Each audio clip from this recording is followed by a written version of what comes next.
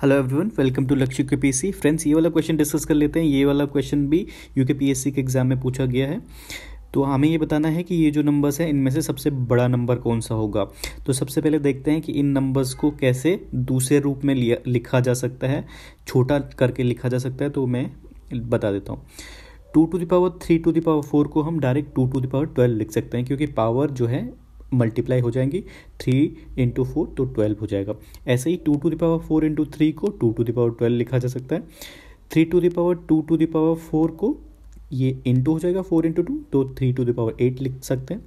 three to the power four to the power two को three to the power eight लिख सकते हैं four to the power two to the power three को two to the power four की power three जो भी जो कि हो जाएगा two to the power twelve right और four to the power three की पावर टू को लिख सकते हैं, टू टू पावर ट्वेल्व। तो हम देख सकते हैं कि यहाँ पे जो पहला है, दूसरा नंबर है और लास्ट के जो दो नंबर है, यानी टू टू दावर ट्वेल्व दोनों, यानी कि चार के चार एक ही नंबर है। अब हमारे पास बचे जो तीसरा और चौथा नंबर है three to the power eight और थ्री टू दावर तो हमें सिर्फ़ पॉसिबल ये पता करना है कि two to the power twelve और three to the power eight में से कौन सा बड़ा है। तो टू द पावर ट्वेल्व को हम